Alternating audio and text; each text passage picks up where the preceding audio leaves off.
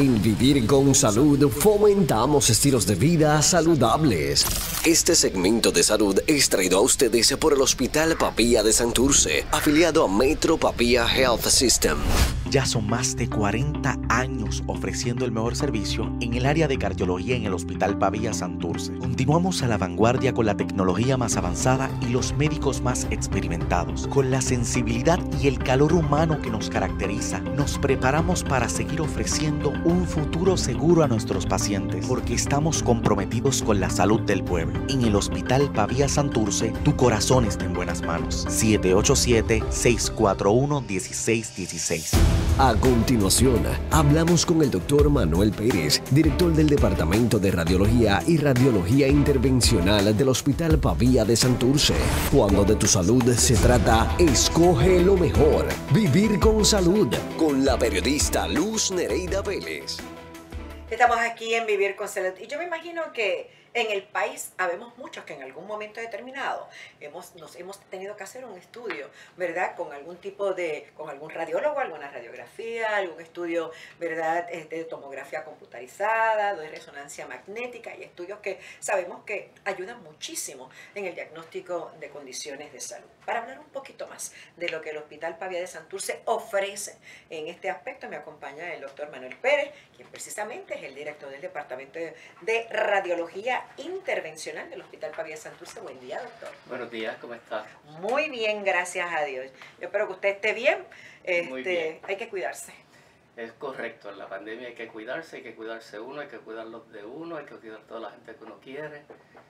Eso es así. Si no, en problemas estaremos. Exactamente. Vamos a hablar qué es esto de la radiología intervencional o intervencionista, como mejor se diga. Radiología intervencional, intervencional es el anglicismo, porque viene directamente del inglés, intervencionista es la palabra correcta en español.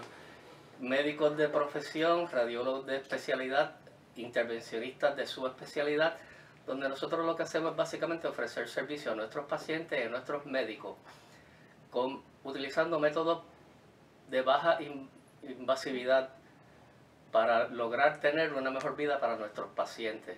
Ejemplo, un paciente que se perfora por diverticulitis, que tiene un absceso intraabdominal, estamos viendo que quizás necesita una cirugía, una colostomía y después una segunda cirugía para poder reconectarse. Eso me pasó a mí. Eh, nosotros lo que podemos ofrecer es eh, en la etapa temprana de la enfermedad y desarrollo del absceso, hacer un drenaje percutáneo, drenar el absceso para que se pueda el paciente entonces operar electivamente cuando esté en mejores condiciones en vez de sumamente enfermo. Tenemos un servicio también bien grande ahora de biopsias percutáneas. Y en la pandemia nosotros nos mantuvimos trabajando. trabajando porque es bien difícil para mí decirle a un paciente, mira, tú es posible que tengas cáncer de pulmón, pero espérate como, como en septiembre, yo creo que nosotros te vamos a poder atender y quizás hacerte la biopsia. El problema es que se puede morir. Nosotros estamos haciendo casos con alguna urgencia, eso no es una emergencia, pero tiene una urgencia hacer un diagnóstico temprano para poder tratar al paciente temprano también.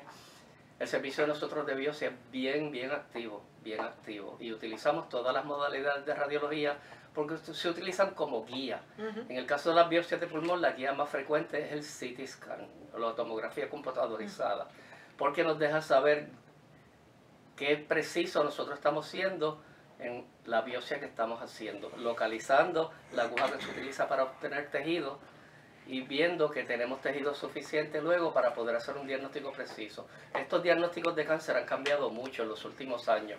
Antes, pues, pues uno tiene cáncer de pulmón, hay muchos cánceres de pulmón diferentes que se tratan diferentes. Así que para un cáncer de pulmón ahora mismo se le están haciendo muchas pruebas como inmunohistoquímica que nos dice el nombre, el apellido y todos los primos, como yo le digo a los pacientes. Del tipo de cáncer que la persona pueda tener. el adenocarcinoma y estos son los marcadores de tumor para guiar la terapia mucho más efectivamente. Así que mientras más efectivos nosotros somos en tener una biopsia adecuada, mejor podemos servir a nuestros pacientes. Le, pregunto, ¿podemos a través de esos estudios saber también los estadios que puedan estar esos cánceres? Es correcto, CT se utiliza mucho para el estadio, el MRI se utiliza para estadio en algunos tipos de tumores, pulmón no es el más frecuente de ellos. El mejor estudio quizás para estadificar un tumor es un PET CT scan, que es un estudio de medicina nuclear combinado con CT, donde el CT se utiliza para localizar específicamente el área anatómica donde prende, porque se, está inyectando glucosa radioactiva. Entonces, los tumores, la mayor parte de los tumores, reaccionan a esa sustancia. Reaccionan a eso y se prenden. El cerebro prende porque está usando mucha glucosa, el corazón prende y los tumores van a prender y nos dicen varias cosas. Tienen tumor en más de un sitio, se ha extendido el tumor fuera del área donde estaba localizado inicialmente y a nosotros nos ayuda por si el paciente necesita una biopsia, nosotros debemos escoger el sitio que tiene más actividad en el PET-CT para poder hacer una biopsia que sea adecuada para ese paciente. Le pregunto, porque a veces las personas, eh, ¿verdad? Se, asustan cuando dicen, pues tenemos que hacerte los estudios, ¿verdad? Con contraste. Pues porque si es una sustancia radioactiva que me va a causar daño. Yo quiero que usted le explique a la gente que es tan mínimo y que muchas veces esa sustancia la botamos en menos de 24 horas, ¿no? En el caso del CT, el contraste endovenoso ha cambiado muchísimo desde su inicio comienza en los 1930. Recuerde que radiología como especialidad nosotros somos unos nenes. Eso comienza cuando Röntgen descubre los rayos X de una manera fortuita. Fue un error, básicamente le hizo una radiografía a la, a la mano de la esposa. Eso fue en los 1895. Ya en los 1930 había un grupo, particularmente yo vi una escuela en Portugal que se encargaba de inyectar un material que se llamaba torotras, que luego se le sabe que causa cáncer. Así que han ido cambiando, los contrastes nuevos son bien buenos, dan bien poquitas reacciones. La incidencia de reacciones antes en, un paciente normal era como 5%, vamos a decir uno en 20 tenía una reacción. Nosotros en Pavía, nosotros premedicamos a todo el mundo con esteroides antes y la incidencia de, complicaciones y reacciones adversas en nuestros pacientes son bien bajitas. En cuanto al riñón, efectos adversos en el riñón, también los contrastes nuevos son bien buenos. Para que uno tenga una idea, en un paciente que tiene función renal normal, la mitad de ese contraste se excreta por los riñones en media hora. La segunda mitad en la segunda media hora. Así que, básicamente en 12 horas no hay contraste en el cuerpo. Exacto, que la persona puede. Y lo podemos usar en niños y adultos. Se podemos utilizar en niños y adultos. Nosotros, a todo el mundo que se va a inyectar contraste, le hacemos una prueba de riñón antes y determinamos si tiene la función renal que está marginal, consultamos al nefrólogo para que nos ayude, diga que no. Y también tenemos que escoger el estudio que sea mejor para el diagnóstico que el médico quiera llegar. A veces ese estudio con contraste no es el mejor estudio para hacer.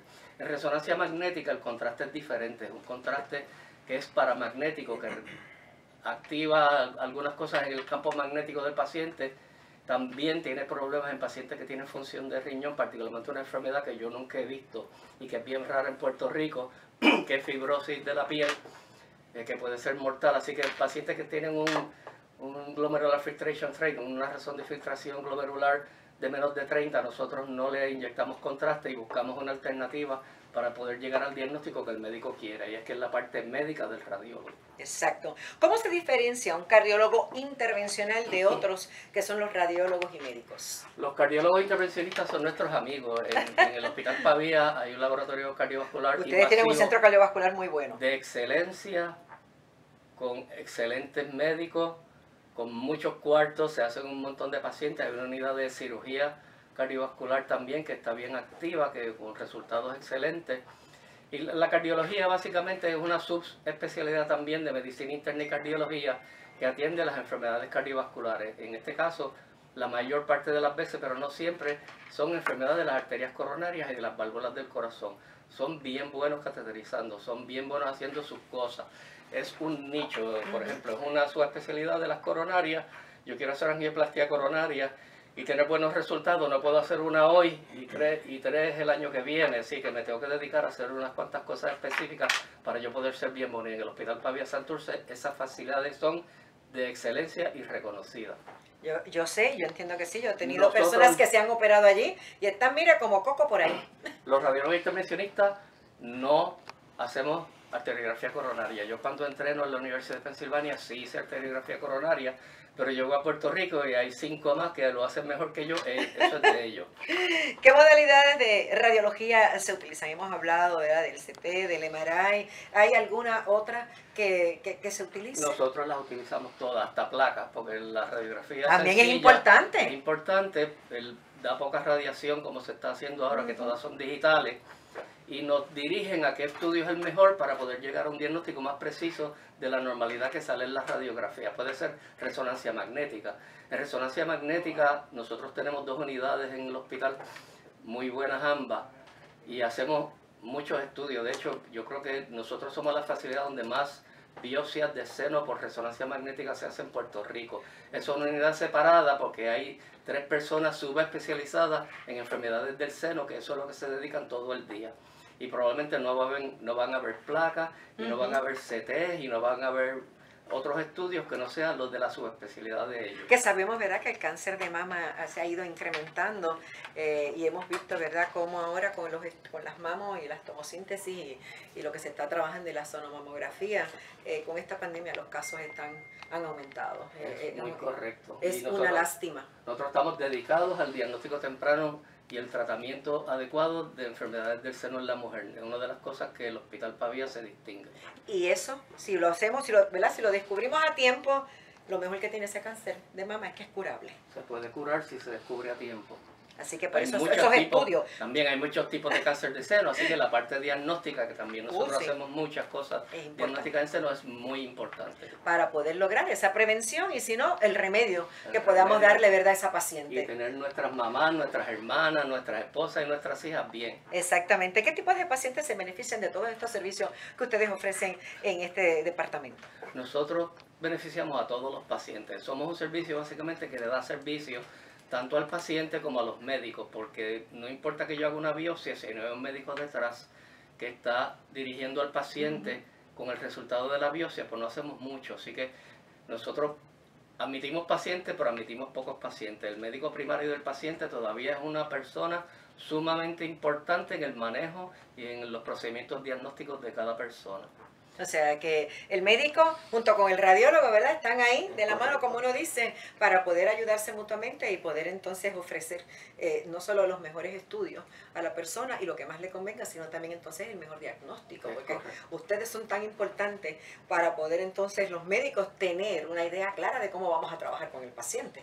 Quisiera también decir, nosotros los médicos somos importantes, pero radiología intervencionista en particular es un grupo y radiología también para no quitarle, es un trabajo en grupo. Yo necesito a mis enfermeras, mis enfermeras tienen que saber lo que yo estoy haciendo, cómo es que esto lo estoy haciendo. Tengo un grupo de tecnólogos que eso es lo que hacen todo el día también. Y el trabajo en el grupo es lo más importante en un servicio de radiología intervencionista. No, porque muchas veces, ¿verdad? Hay una preparación dependiendo del estudio que se vaya a hacer la persona, hay una preparación eh, y eso pues también ayuda porque ese personal le da con esa confianza, la tranquilidad. Hay gente que le tiene pánico a estar en una máquina, ¿verdad? Encerrado, aunque sabemos que hoy día pues eh, hay mucha maquinaria abierta para eso mismo, para las personas que son claustrofóbicas, ¿verdad? Pues puedan hacerse los estudios. Hay quienes se ponen muy ansiosos, muy, muy Así que el personal que ustedes tienen a la vuelta redonda es clave y base para poder ayudar a ese paciente y ayudarlo a usted. Eso así, y yo soy claustrofóbico. ¿De verdad, doctor? Correcto. Cada vez que me hago un EMAR me duermo. hay, gente que hay que sedarla. Hay gente que, pero cada vez es menos. Mientras uno habla, le enseña el equipo, pues entiende lo que está pasando y la y los pacientes ya están mucho mejor informados con Doctor Google en, el Internet. Claro que sí. ¿Qué facilidades, aparte, así, eh, dentro de esa radiología, nos queda por mencionar que ofrece Pavía? Eh, medicina nuclear, nosotros en el hospital no tenemos PET-CT. PET-CT es una, es una actividad extremadamente cara donde los materiales que se usan, que son radioactivos, duran bien poquito tiempo. Así que eso no es cuestión de tenerlo cuando llegue un paciente a usarlo, tiene que ser una actividad bien activa para poder ser exitosa. Es la única que nos falta. Nosotros tenemos resonancia magnética, nosotros tenemos eh, mamografía, sonomamografía, biopsias de seno por radiología, por sonografía, tenemos una unidad de sonografía bien activa y sinceramente nosotros tratamos de hacer la mayor parte de los procedimientos por sonografía porque sonografía no tiene radiación, no tiene radiación. Resonancia magnética no tiene radiación tampoco. Así que la gente ya lo sabe. Mire, 787-641-1616. Este es el teléfono a llamar para que usted pueda acceder a estos servicios. Eh, doctor Manuel Pérez, mil gracias. Muchas gracias y que tengan muy buenos días. Igualmente para usted. Sí, hay que cuidarse. Muchas bendiciones. Regresamos con más. Ya son más de 40 años ofreciendo el mejor servicio en el área de cardiología en el Hospital Pavía Santurce. Continuamos a la vanguardia con la tecnología más avanzada y los médicos más experimentados. Con la sensibilidad y el calor humano que nos caracteriza, nos preparamos para seguir ofreciendo un futuro seguro a nuestros pacientes porque estamos comprometidos con la salud del pueblo. En el Hospital Pavía Santurce Santurce, tu corazón está en buenas manos. 787-641-1616. Cuando de tu salud se trata, escoge lo mejor. Vivir con salud. Con la periodista Luz Nereida Vélez. Regresamos en breve.